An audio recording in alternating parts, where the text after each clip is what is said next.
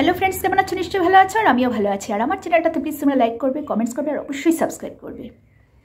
মানে কি বলব, এত উত্তেজনা ওদের মধ্যে, এত ভয়, উত্তেজনা বলব না, এত ভয় যে লাইভ করল প্রাইভেট করে দিল। বন্ধুরা, তোমরা ভাবতে পারো যে একটা লাইভ যখন হয়, সবাই কিন্তু সেই সময়টায় থাকতে পারে না জয়েন করতে পারে না। কারণ সবার সেই সময়টায় সুবিধা হবে যে একদম হয় না। যেমন আমার, আমি লাইভ কোনো প্রবলেম প্রোগ্রাম জয়েন করতে পারি না, আমার প্রবলেম থাকে। বাচ্চা ছোট পড়াতে লাগে। কিন্তু আমি যখন ওদের চ্যানেলটা সার্চ করতে গেলাম ডাইরেক্ট দেখলাম লাইভ আর লাইভ দেখার পরে আমি যখন দেখতে গেলাম, দেখলাম এটা প্রাইভেট করে হয়ে গেছে। লাইভ কখনো প্রাইভেট হয়? তার মানে ভাবো, ওদের মনে কত ভয় পেয়েছে, ওরা কত ভয়ে আছে, একদম আন্ডার প্রেশার যাকে বলে তাই জন্য লাইভ প্রাইভেট করতে হলো। তাতেই বোঝা যায়, তাতেই বোঝা যায় যে তোমাদের ভিতরের যে সব কিছু মিথ্যা। একটা সত্যি যখন থাকব ডেম কেয়ারলি কে কী করবে ভাই? মানে সত্যের জয় তো, ওরা জানে যে ওরা সত্য না, ওরা মিথ্যা। মিথ্যা। আমি সব ছেড়ে দিলাম। সব ছেড়ে দিলাম যে ল্যাংড়া এইট্টি ফাইভ পার্সেন্ট সুস্থ আছে না ফিফটিন পার্সেন্ট সুস্থ আছে, সব কিছু ছেড়ে দিলাম। কারণ ফিফটিন পার্সেন্ট শুদ্ধ সুস্থ যে ওর খেকশিয়াল বলেছিল না, আমার একটা ভিডিও আছে, সেখানে গিয়ে দেখবে, আমি বলেছি যে মানে ফিফটিন পার্সেন্ট দিয়ে আপার বডি দিয়ে কিছু হয় না। সেটা বাচ্চার থেকে বাচ্চারা জানে যে কোন জিনিস কী লাগে, যার লোয়ার বডি পোর্শন একদম মানে ওকেজো যার উঠতে পারে না, বসতে পারে না, ধরে বসতে হয়, বসাতে হয়, সেই ক্ষেত্রে শারীরিক সম্পর্ক কি করে হবে? সেটা আমরা বাচ্চারা জানি। নাকি বুড়বক পেয়েছে। তারপর সেটা আমি ছেড়ে দিলাম। কিন্তু আমার দুটোই কথা। হয় তুমি স্বীকার করো যে ল্যাংড়া হাঁটতে পারে সব কিছু করতে পারে, আর নয়তো বা স্বীকার করো যে এই বাচ্চাটা তোমার নয়। সেটা করতে হবে। তা না হলে তো তুমি ভয় পাচ্ছ। আর যেটা আমরা ডাউট করছি, আর ডাউট না সেঙ্গুইনি যে তোমার সাথে, তোমার বাচ্চাটা ল্যাংড়ার না মানে গুন্ডার না। সেটা হতেই পারে না। তুমি যদি সত্যি থাকতে হ্যাঁ আমার একটা গত পরশুর ভিডিওতে দেখবে, ওখানে মধ্যে আইভি রানি বলে একজন কমেন্টস করেছেন যে মানে আমি কমেন্টসটা দিয়ে দেবো, আমার বলতেও লজ্জা লাগছে যে উজ্জ্বলের সাথে আমি আর সুতোপা যাতে গিয়ে শুয়ে কি করে মা হয়েছে সেটা বোঝার জন্য। তো আমি এটা স্ক্রিনশটে দিয়ে দেবো, যদি দিতে পারি, দিয়ে দেবো, আর নাহলে আমি পিন করে রেখেছি। ওটা গুন্ডাই করে মেসেজগুলি কারণ গতকালের যে ভিডিওতে লাইভে আসলো, সেটাতে বলেছে যে, আমার এক বন্ধু আমাকে ফোন করে বলেছে, জানে, আমি ভিডিও করছি। তো আমাকে জানিয়েছে যে, দেখ দেখ দেখ লাইভটা এরকম আসছিল। তো দেখতে পার দেখ গিয়া, তো ততক্ষণে লাইভ মানে প্রাইভেট হয়ে গেছে। তো ওখানে বলেছে, একটা কথাই আমার ইসে আছে যে যারা যারা ইচ্ছুক ওর সাথে কিছু রিলেশন করতে, এই ধরনের কিছু বলেছে। কারণ আমি দেখিনি যেহেতু, আমি জানি না।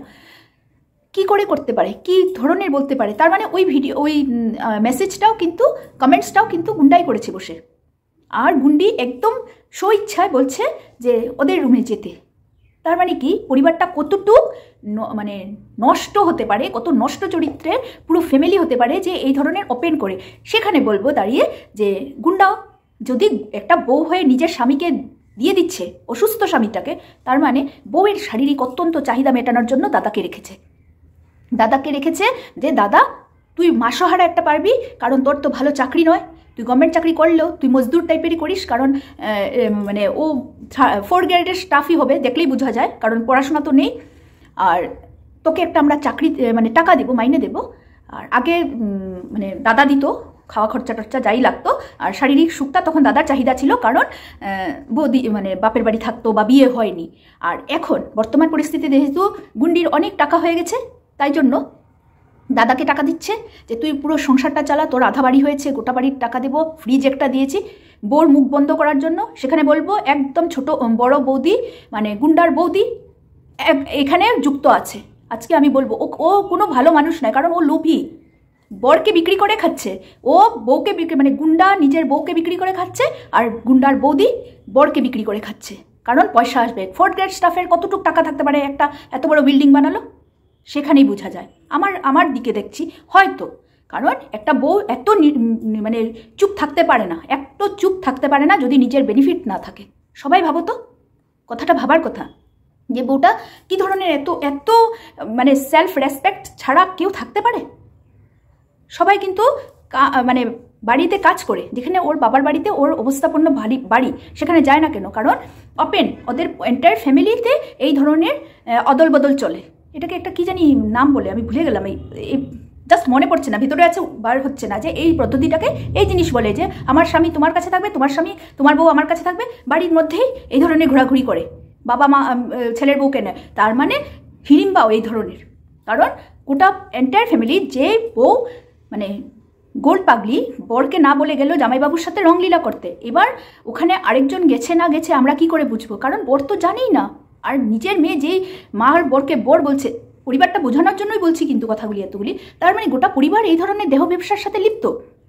আর যদি তুই সত্যি থাকতি, এতগুলি বললি, সেদিনের কমিউনিটিতে দিলি, কোথায় গেলি, না গেলি, সেগুলো দেওয়ার জন্য, তারপরে তুই লাইভ করবি, সেটা লাইভের তুই কমিউনিটিতে দিলি না কেন? দেখতাম, আমরাও জয়েন করতাম যে তুই কি বলছিস? হয় লিখতাম কমেন্টস করতাম, নাহলে শুনতাম।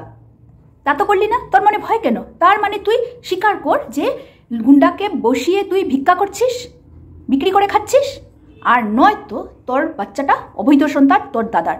কারণ একটা এই ধরনের প্রসেসে গেলে কি হতে হয়, সব আমার আমার মতন পেশেন্ট যারা আছে, সবাই জানে।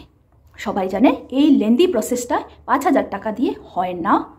কারণ আমি যেহেতু লাইভ দেখিনি, আমি বলতে পারব না। সেখানে কি বলেছে? জাস্ট একটা আমার বন্ধু বলল যে, তুই দেখ ততক্ষণে শেষ। তারপরে আমি ওকে যখন ফোন করলাম, তখন আমার জাস্ট এতটুকু বলল যে, এই ধরনের বলেছে।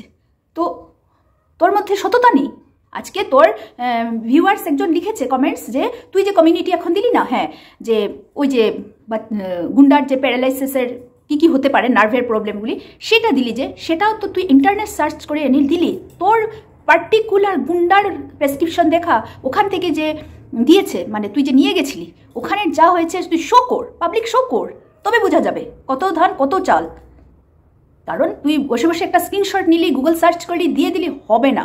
কারণ সত্যি যখন লড়তে এসেছিস, তুই আলটিমেটলি বল, হয় গুন্ডা সুস্থ, নয়তো গুন্ডাকে বিক্রি করে, গুন্ডার সামনে রুমে ঢুকে, যেমন তুই বলেছিস, যে রুমে ঢুকে করাবি তোর দাদার সাথে করছিস, ভাসুরের সাথে। না হলে কোন ভাসুরে এরকম বসে থাকে? কোন ভাসুরের এত সময় আছে? নিজের বউকে সময় না দিয়ে, বাচ্চাকে সময় না দিয়ে এখানে করছে? কারণ মানে দাদাও ওই কান, দেখ, যদি সত্যিই থাকতো, কিছু না থাকতো, দাদা কিন্তু রাগ হয়ে আসতো না। কিন্তু দেখ, শারীরিক, শারীর, শরীরের এত চাহিদা এত চাহিদা যে ওই বউকে দিয়ে হয় না, নিজের বউকে দিয়ে হয় না, তোকে দিয়ে হয়। তোকে দিয়ে হয়, তার মানে তোরা দুজন কতটুক তোরা মানে উত্তেজিত, উত্তেজনা তোদের শরীরে।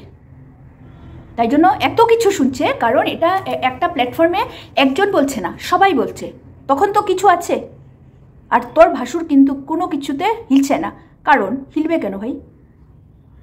রাত্র দিন যখন চাইছে তখনই তো পাচ্ছে। তখনই তো পাচ্ছে। সবাই জানে কিন্তু। যতই মানে দিবি না যে পায়ে এই ধরনের ঠকঠক করে কাঁপলো লিগামেন্ট শুন শুন শুন শুন। ঠিক আছে, হবে, হতে পারে।